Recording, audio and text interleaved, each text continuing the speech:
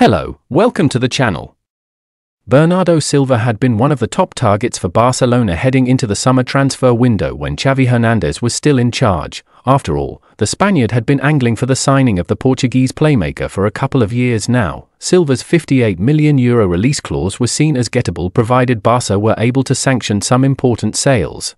However, with Xavi no longer at the helm of affairs, things appear to have changed as far as the Catalan stance on Silva is concerned. Indeed, journalist Jose Alvarez now reports that Barcelona have ruled out a summer move for Bernardo Silva, with the new manager set to take over imminently. The Blaugrana have other targets to pursue in the summer transfer window.